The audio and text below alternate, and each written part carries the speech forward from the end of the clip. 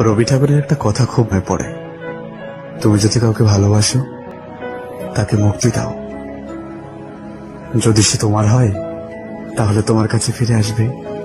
আর যদি সে ফিরে না আসে, সে তোমার ছিল না, কোনোদিনও হবে না। কি করিলে বল, পাইব তোমারে, রাখিব আঁকিতে আঁকি